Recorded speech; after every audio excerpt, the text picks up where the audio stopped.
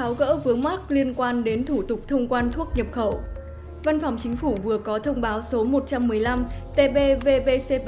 kết luận của Phó Thủ tướng Chính phủ Vũ Đức Đam tại cuộc họp về việc gia hạn giấy đăng ký lưu hành thuốc. Nghị quyết nêu rõ, đối với giấy đăng ký lưu hành thuốc, nguyên liệu làm thuốc hết hiệu lực trong khoảng thời gian từ ngày nghị quyết này có hiệu lực là ngày 30 tháng 12 năm 2021 đến trước ngày 31 tháng 12 năm 2022 mà không thể thực hiện kịp thời thủ tục gia hạn đăng ký lưu hành do ảnh hưởng của dịch Covid-19 thì được tiếp tục sử dụng đến hết ngày 31 tháng 12 năm 2022 để bảo đảm phục vụ công tác khám bệnh, chữa bệnh.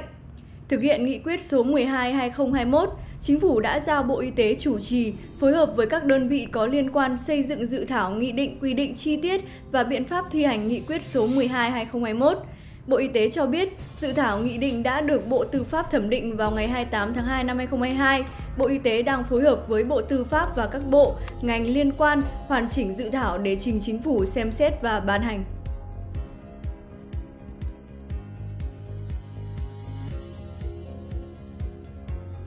Sử dụng xe đạp tại trạng ngắn nằm trong giải pháp giảm thiểu tắc đường.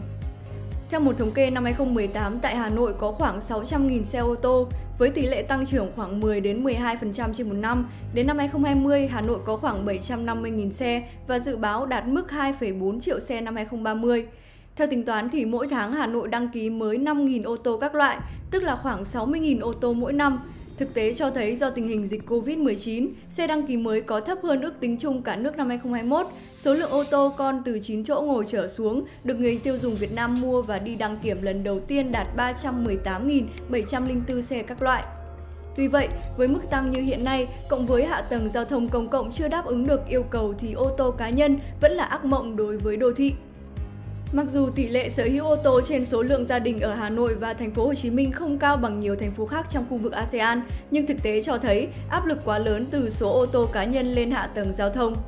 Giải pháp cứng là đưa ra những dự kiến cấm một số khu vực không cho ô tô đi vào, thậm chí cả giải pháp cấm ô tô theo biển số chẵn, lẻ, ngày chẵn, ngày lẻ.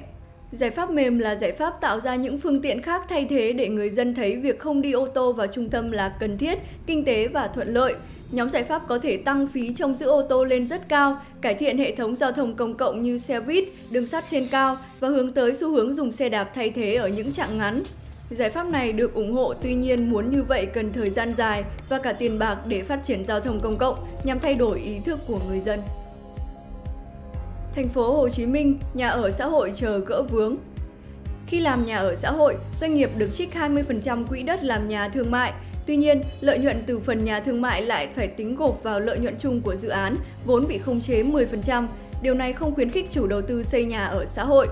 Theo ông Lê Hoàng Châu, Chủ tịch Hiệp hội Bất động sản Thành phố Hồ Chí Minh, chỉ tính 3 dự án nhà ở xã hội của công ty Lê Thành, dự án nhà ở xã hội Nam Lý và dự án nhà ở xã hội cho thuê của công ty Thiên Phát được tháo gỡ, thành phố sẽ có khoảng 5.209 căn hộ giá rẻ trong năm 2024-2025.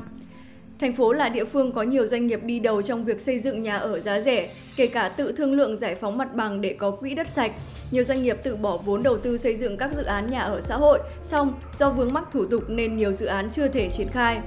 Ngoài thủ tục hành chính, nguồn vốn cũng là vấn đề nan giải. Doanh nghiệp được vay 70 cho đến 85% vốn với lãi ưu đãi trung bình 5%, nhưng thực tế từ năm 2016 đến nay, nguồn vốn tái cấp bù cho ngân hàng không có nên doanh nghiệp vẫn phải vay ở mức 11%. Các dự án nhà ở xã hội còn gặp nhiều vướng mắc liên quan đến bồi thường nhanh chóng giải phóng mặt bằng, cơ chế, chính sách hỗ trợ vốn vay, chính sách cho vay với người thu nhập thấp và các thủ tục đầu tư xây dựng. Bên cạnh đó, thực hiện dự án nhà ở xã hội phức tạp hơn dự án nhà ở thương mại nên ít có sức hút đối với các nhà đầu tư.